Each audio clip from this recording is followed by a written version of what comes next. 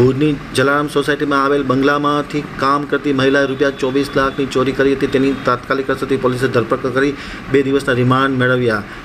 મહિલાના ભાઈ વધુ પૈસા લઈ ગયા હોવાની કબૂલાત.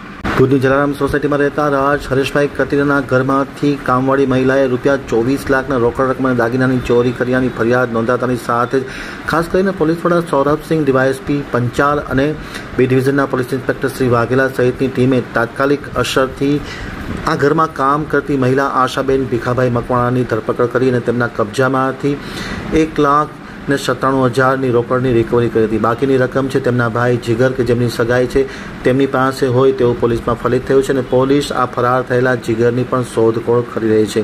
ખાસ કરીને ગણતરીના કલાકમાં પોલીસે આ ચોરીનો ભેદ ઉકેલી કાઢ્યો હતો.